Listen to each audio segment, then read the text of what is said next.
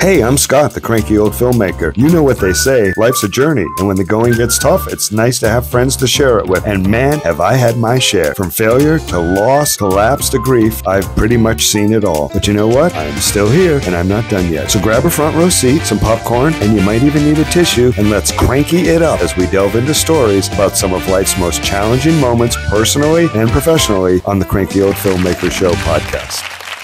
So we're here today with Paul Kapsar, who's an APRN with a uh, multidiscipline practice here in Las Vegas. Today we're talking about a difficult subject, uh, harm reduction uh, for people who use too much alcohol and different methods other than just abstinence you can use. So tell us about a little bit about um, this Sinclair method, the Sinclair method, TSM. What what is it?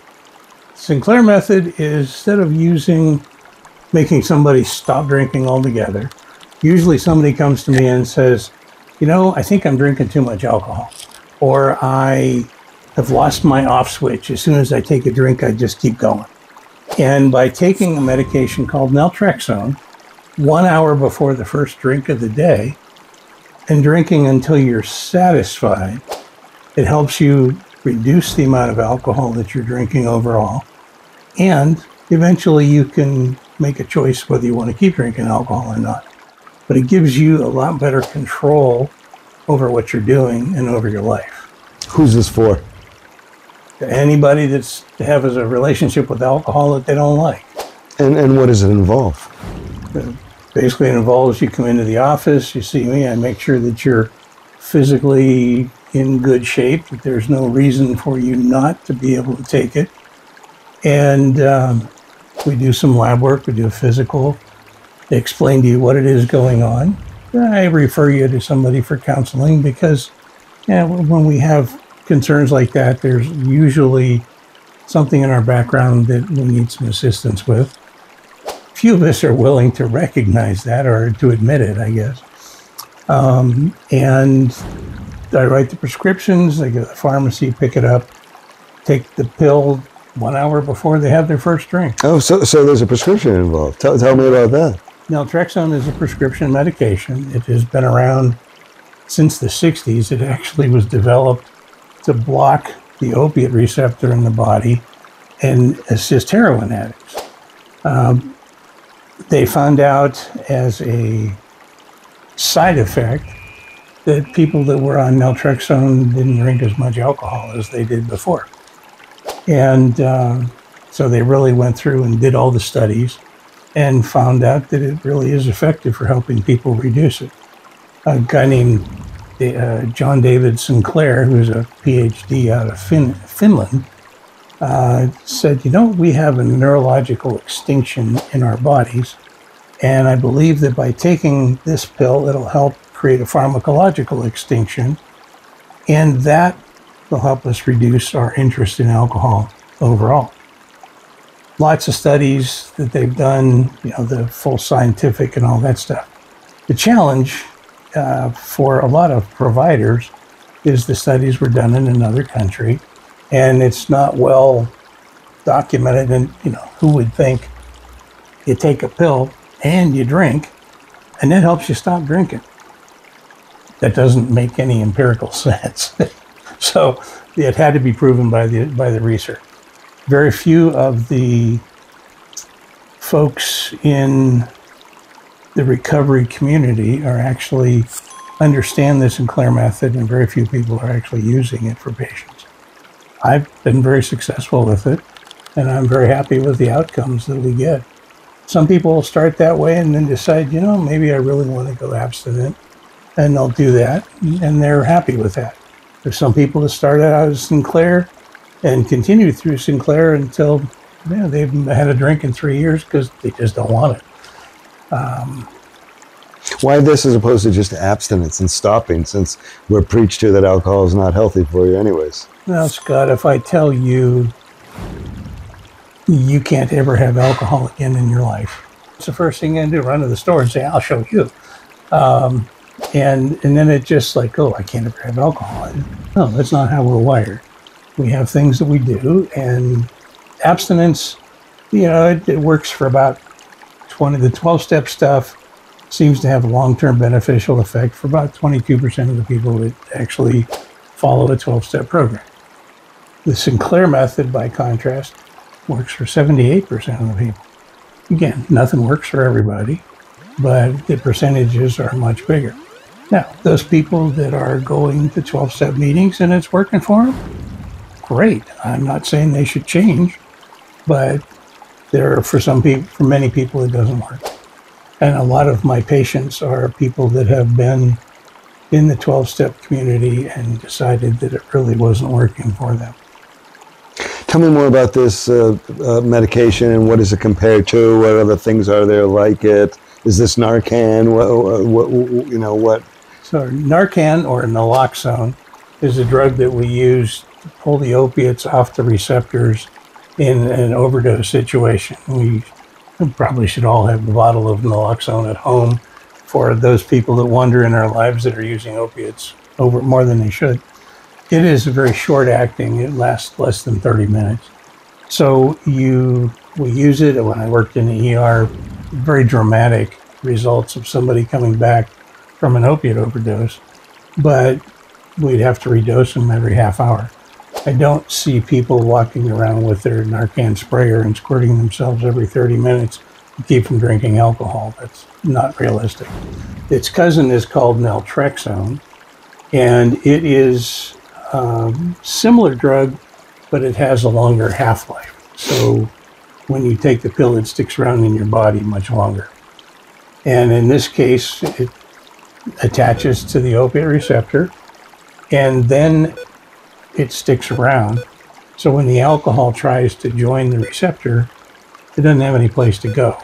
So your body says, Oh, I'm full. I don't need this anymore. And as a result, you drink less. The biggest complaints I have from people that I start on it is my beer got warm. I've never had warm beer. I, I don't know what to do with that. And I congratulate them on having a warm beer because it is, in fact, a beautiful thing in the in the context of what they're trying to do. It all sounds very new agey, but there's statistics to back it up. And what is the what is the Western medical medical community think of this? Is this widely accepted? What and, and, and what direction is it moving? It is considered by, I mean, even in Finland, it is a Western medicine treatment. It's not a woo-woo thing. It is using pharmacological, pharmacologically approved medication to change how the body functions. If you have um, pre-diabetes and they put you on metformin, it changes your body and helps you function better. It's essentially the same thing, different, different uh, arena, but essentially the same thing. Uh, the acceptance currently, um, many people, many people, even many of my peers, look at me like I've got a screw loose when I tell them that yeah, we give people a pill and we have them drink, and then they reduce their amount of drinking. It is not well known. It is not something that I learned in um, nursing nursing school or in my nurse practitioner program, and it is not in most professional publications. Tell us a little bit about that. How you came about it and started using it in your practice. Well, bottom line is I'm a science fiction nut. I've been reading since grade school. And I had a patient come in one day and said, I want to use uh, naltrexone before I drink to um, to reduce the amount of alcohol that I'm like, really? I've never heard of that. This was 2010, and uh, she mentioned that Claudia Christian is who is an actor on Babylon 5, and Claudia is, is a very powerful character on the show. And I'm like, okay, well, if Claudia said it, then I'm going to go look and see what it is about. And started looking into it, and it is a legitimate, I believed it was a legitimate process. I did start inpatient when the patient came in and had a blood alcohol of zero, I would give them an naltrexone, and it actually shortened their stay in the recovery hmm. center. Hmm. And it reduces the I call them gimme ones for lack of a better term for most people. It reduces that cravings that you get. And, um, and people feel better faster. About um, side effects since this is, is a medication, and then what about also the fact that alcohol depletes? Common side effects of naltrexone typically are gastrointestinal. You may not be as hungry as you were. You will find that you may be a little constipated. Um, you may not be quite as enthusiastic as you were, a little bit of a depression. But typically, people that are drinking more alcohol than they really want to have a degree of depression anyway. So as that depression lifts, whatever the naltrexone causes is muted. It's not a not a big factor in things. Uh, I've had some people come in and say it caused extreme euphoria. Uh, like I could only take this once because it was okay. Some people they drink more on it, uh, and and what about that nutrition aspect? Because we're always taught that alcohol pretty much sucks everything out of your system. Alcohol washes primarily the B vitamins out, but typically if you're drinking too much alcohol, which by the way is a gram of alcohol is seven calories versus four for proteins and, and carbohydrates and nine for fats. So if you're drinking a liter of uh, alcohol a day, you're putting about 7,000 calories. And, and, and, the sugar, too. That is the sugar. Yeah, yeah, yeah. yeah. So, um, anyways, so we're eating, we're having too many calories, and we're washing out vitamins, nutritions, and we're not eating any kind of food. So, I use something called the Pure Encapsulations Detox Pack. It's a box about this big with 30 days worth of vitamin supplements and uh, pharmaceutical grade vitamins. Uh, the reason I use that is because one of my guys, I got him detoxed and gave him the vitamins. He calls me up about 30 minutes later and says, Oh, yeah, like, what the hell's in this stuff? I said vitamins, supplements, nutrition. I haven't felt this good in seven years. How could I not give it to everybody now? And, and I find that everybody that I give that vitamin pack to comes back within a couple of days saying, man, I feel so much better with that vitamin pack than I did before. Was we need those vitamins, we need those micronutrients, we need those bacteria to be healthy. We don't do that.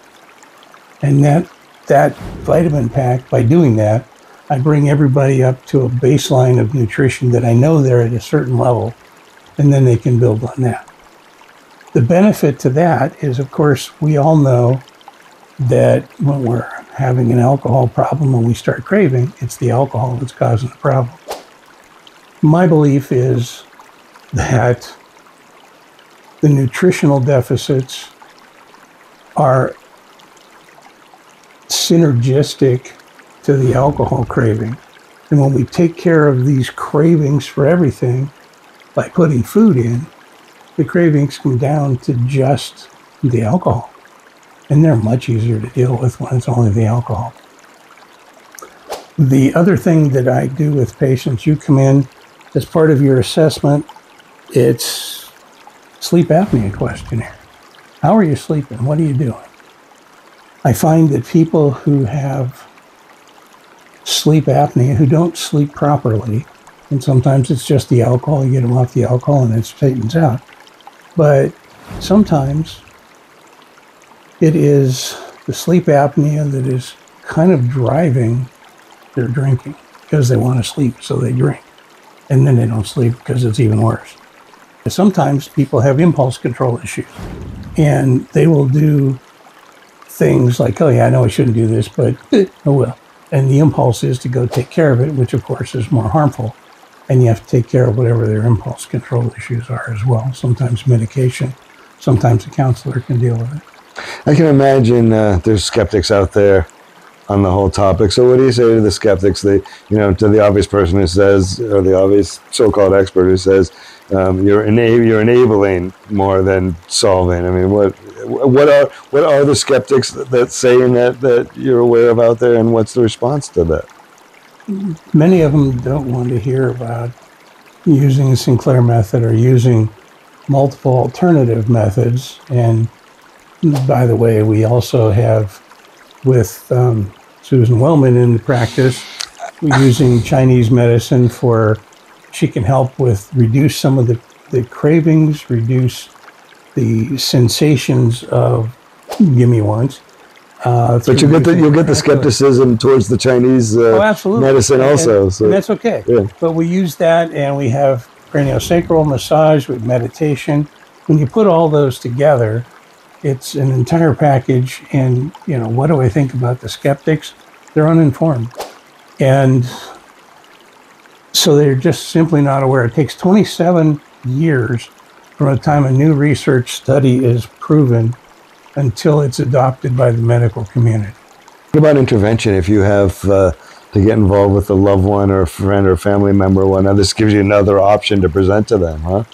It is another option. I um, usually by the time because you're talking to somebody who's very resistant at that point too. So. Right. Um, typically, by the time somebody gets to where they have to have an intervention, they are. Uh, they're way behind the power curve. And getting using Sinclair method for somebody who's had an intervention is they probably need to get sobered up first and figure out what life is about and then work at a whole plan as to what they do. Those, those are people that initially, at least, at minimum, they have to be sobered up. So what's point X where this is a good option for somebody that without them stepping over a red line? Unfortunately, it's fuzzy. There is no there is no perfect line for it. There I've had some people that they literally walk in the door. They have been drinking heavily for the last three weeks. Uh, haven't you know their house is littered with bottles. I have them take the naltrexone. You can watch it as they they go from being in withdrawal and you can watch them settle down. It's like I gave them a benzodiazepine and chill them out. It works quite, it's quite nice. What about somebody, what about people, it's more than alcohol?